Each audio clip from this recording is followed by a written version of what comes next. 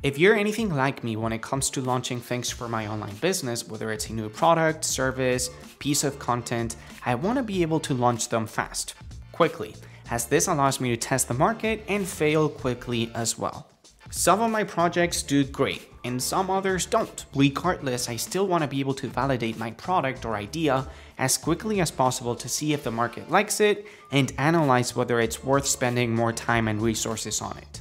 This means that I don't want to have to spend 10 hours of my time building a sales page or invest $3,000 on a designer and a developer to build the sales page for me.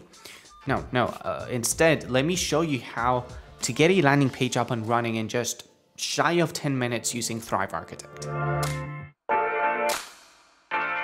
Perfect. So what you're looking at right now is the back end of my WordPress website. It is a testing environment. It's not a real site, but your site, if you're building your business with WordPress, as you should, is going to look something like this. Now, if I jump over into my pages, you're going to see how quickly and how easily I can create a new page using Thrive Architect. I'm just going to hit on this add new option, add new page option, and we're going to call it landing page in 10 minutes. Let's hit save, and let's fire up the page with Thrive Architect. Now, if you've been with us for a while now, you'll know that with Thrive Architect, you've got four different places where you can start designing your pages from. You can either start using one of your theme templates as, you know, a template for your page to start working from. Uh, you can start with a blank page that includes your, your site's header and footer. This is how I typically start off working on most of my pages, you know, just a blank canvas that does come with my header and footer. You can start from a completely blank page. This is a good option for you if you're building a unique design and you don't want to use one of our templates and you don't need a header or footer, great option. And then of course you also have the option that we're going to be using today, which is to start off from a pre-built landing page. This um, is great for um, you know, sales pages, landing pages that we've already designed for you and that are going to come across as being super conversion friendly. They've been optimized, all of them by our team of professional designers here at Thrive who meticulously think about, okay, how, uh, you know, what, what techniques can we use to make sure that the people landing on this page, um, you know, hand over their credit card details to you as quickly as possible. So with that said, let's just browse through some of these templates that we can pick from. I'm to jump over into legacy landing page designs. And in here, I'm actually to look for the bonus um, deck template. And in here, this is a, a play, we, to be honest, a little bit of a self-criticism. We can probably, and we will probably work on this this year. Uh, the, this deck of templates is a little bit hidden in my opinion and some of these are absolutely outstanding. I think that our designers have done an amazing job on some of these, and I want to make sure that, that, that we put them a little bit more closer to your eyes so that you can use them, or so that, so that at least you know how to use them um, more easily. And we're going to start off using this fancy divider example 02. Now, why am I choosing this template? Well, let's just assume that we are in the market to sell VR headsets. That's probably not your case. It's not my case either, but this just goes to show how quickly and how easily it is to start off from a pre-designed template um, that we can just customize really quickly with Thrive Architect. Now, uh, again, this particular template has been uh, mocked up as if you were selling VR headsets, but you can quickly change this for something else. In fact, let's try something fun. I'm inside ChatGPT and I'm gonna ask ChatGPT, hey, hey, can you generate a 1080 by 1080 image of um, a smartphone over a white background. Let's just assume that, hey, you know, I love the template that Thrive Architect has done for me, but I'm not sure about the the images. I don't know how to rework these images because I'm obviously not in the market to sell VR headsets. How difficult is it to take one of Thrive's, Thrive's templates and make it my own? Well, it's not difficult at all. Okay, this is what ChatGPT generated for us, which is not, it's not bad, but I can foresee that we're going to have some issues with this image because it has some shadows that are going to be a little bit hard to get rid of. So uh, please make sure you're using a fully white background with no shadows. The smartphone should, well, actually, I'm, I don't mind the tilted smartphone. Let's see what it does. All right, that's not bad, but it still gave me some shadows. let's just go ahead and try using this, okay? And uh, what I'm gonna do now is I'm gonna open Pixelmator and on your end, what you can try doing is opening up either Pixelmator or Photoshop, or perhaps you have a license for Canva or, you know, some sort of image editing editing tool. In my case, it's gonna be Pixelmator. And here I'm gonna create a new document, 1920 by 1080, and let's just drag and drop the image that we just generated with ChatGPT. Perfect. I'm gonna copy that image, open up a new document, and paste it in there. Perfect. So now we have the image that ChatGPT generated for us. And what we're gonna do is use Pixelmator's smart editing functions to remove the background of this image. And hopefully, yeah, nah, didn't do a really good job. Let's try doing it again. See if we can get rid of that background. It's still not doing an amazing job. Um, yeah, see these shadows that ChatGPT generates for us are a little bit annoying because it makes it hard for Pixelmator and Photoshop to get rid of the background without eliminating some of this, um, without eliminating a little bit of that smartphone device. So let's try doing something. Let's try grabbing the smartphone itself. I'm going to copy and paste it again into a new document. And let's try again. Let's see if we can make it a little easier for Pixelmator to get rid of the background. Okay, it did a much better job now. So now I think we can take this image, export it as a, J as a PNG image, and just do smartphone. All right, and here let's do, jump over into Thrive Architect again, replace this image with the image of our smartphone. And let's see what that looks like. All right, not bad, is it? It looks kind of cool. I think I want to get the size of the image a little down. It's a little too big now. Let's just check on the positioning for this image. I think it's a question of making this column a little wider. I mean, a little narrower. And that is starting to look a little cool. Perfect. So let's just say that we want to sell smartphones and this is going to be our H1 heading. Get this smartphone without paying the money that the fruit company charges for theirs. Get this smartphone without paying the money that the fruit company charges for theirs. We believe that smartphones should smartphone, oh, I'm missing a T. Smartphones should be intelligent.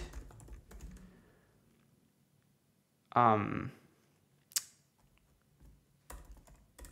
um, I don't know what to say. Smartphones should be intelligent. They should be uh, easy to carry around, fun to use, and most importantly, useful. All right. For example, okay? um, I probably would want to replace the logo.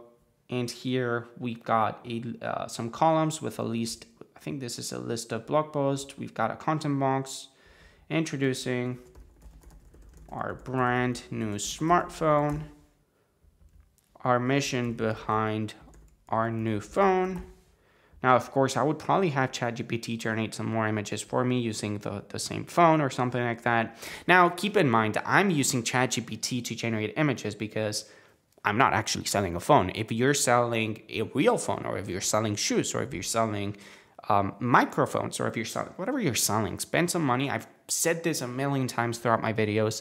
Spend a little bit of money, invest a little bit of resources in hiring a good photographer or a good a graphic designer that can illustrate your product in a in a good way because the images are I would say that images are probably like 70% of the factor that are going to either get you a sale or just have people navigate away. If your images don't inspire trust, you're not going to make the sale. So make sure that your images are on point. This image is probably not even that great if I were really trying to sell a smartphone, okay?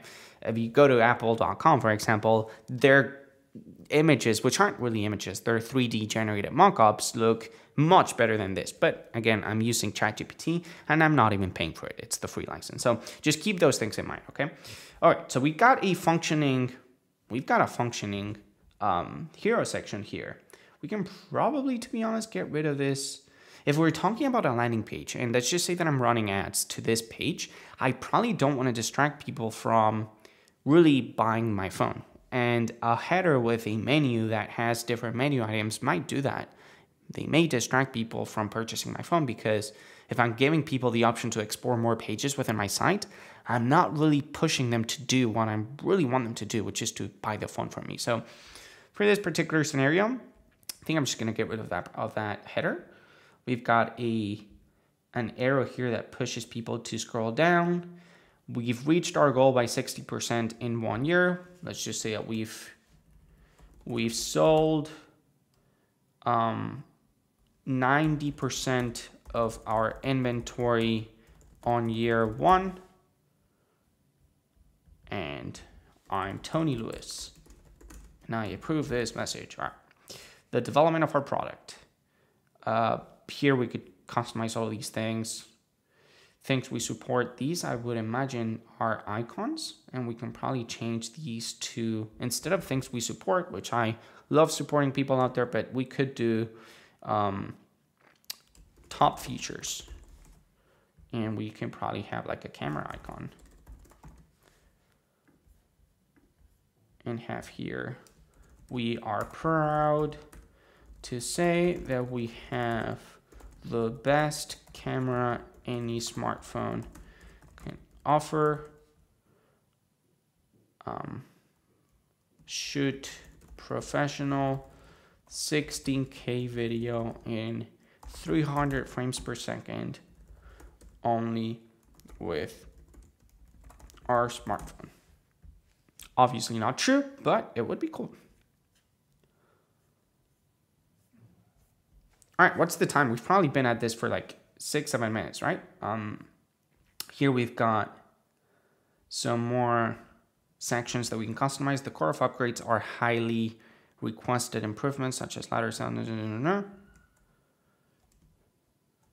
People love our smartphone not just because it's cheap, but because it pushes people to spend time doing other things other than look at their screens. I'm not really sure if the messaging makes any sense for this, but let's just assume that it does. Ready to start your journey? I would probably have a video here. I mean, if you're, I mean, there's a really cool company out there called Nothing. They, it's very famous today about, at this point where they're really trying to compete against Apple in building a phone. Not really sure why I'm talking about Nothing phone on this video, but essentially one of the things that they, they, they do really well is uh, put themselves out there when it comes to criticize their own products and compare it to other competitor products. And that is something that I would probably do here. I mean, if you're thinking about selling like microphones, a really cool marketing angle that I'm seeing more and more often is, and this is not just true for small entrepreneurs and small businesses, but you know, mid to big size companies like Nothing. I mean, Nothing is a pretty big company today already. Is put themselves out there and have the founders or their CEOs come out and say, you know, uh, I'm going to compare my phone that I've just built against the iPhone and let's just see what camera is better. And let's just compare the quality of the pictures and videos that, that both cameras do um, when keeping in mind the price tag as well. Because of course, I mean, nothing, the nothing phone I think goes for like 400 bucks. And when you compare it to a product like a $1,400 iPhone, I mean, is the difference really worth the massive gap in price and the price difference? Maybe not. Depends on who you are, right? But um, yeah, this is how easy it is with Thrive Architect to, to just build your sales page quickly and test it out. And of course, this one's actually rather short. You could, technically speaking, continue to expand on it. For example, I find, if I'm not mistaken, I find that we may be lacking some testimonials. And we can just drag and drop, uh, drop a block towards the bottom, look for a testimonials block, and use it. So here we could have, then for the sake of having some fun, let's just call this gentleman Tim Cook. I've tried Tony's phone and it's without a doubt the best phone ever. The camera rocks, it's affordable, I don't have to sell my kidney to get it all around a good deal. And boom. And this is now a page now. I mean, we could, we could probably have some more. I would probably have three or four, especially if you're if nobody really knows your brand or your product or service. You probably want to not be shy when it comes to using testimonials. Okay, but yeah, how's that for a ten minute, ten minute spent building a sales page? I would say it's pretty, pretty nice. And let's just see it in action. If I hit refresh, we've got some fancy animations going on there with the image, the arrow, pushing people, prompting people to scroll down. Not bad. I probably want to make this content box a little taller. This is not bad. And I probably want some more space here. Let's fix those things. And why not? Let's actually make this a smooth animation and have people scroll down here to the section where we talk about the product. Oops, let's do add link to image, smooth animation, select target, and let's bring it here to top features. Add jump link, perfect. We want to add in some more breathing room in between this section and the testimonials block. Let's do perhaps um, maybe like 120 pixels. Yeah, that's fine. And again, I would probably have more of these. Let's do 120. And let's duplicate this one one more. Not bad, not bad. I would probably just spend a little bit of more time, uh, you know, adding a pricing table and make sure that I have call to actions throughout the page, prompting people to actually buy my product from me, right? Otherwise, I'm just wasting time. To be honest, one of the most powerful things that Thrive Suite has to offer is how quickly you can get things done, whether it's building a landing page as you've seen, or selling your online courses. I mean, we've designed everything to make it easy for you to both succeed and fail quickly. And look, not every single one of your ideas is going to retire you. In fact, most of them won't. Uh, and you know, that is what's so cool and unique about being able to leverage a single suite of tools uh, that allows you to test your product out in the market quickly because it lets you come to the to that realization soon without having to commit a lot of time or resources on your ideas. And with that said, if you have any questions about anything that you've seen today, please be sure to drop them down in the comment section below. And hey, this is your channel for all things WordPress, web design and development, online business. So if any of these topics speak to you, be sure to subscribe to our channel. Appreciate your time, and I'll catch you soon. Thanks again.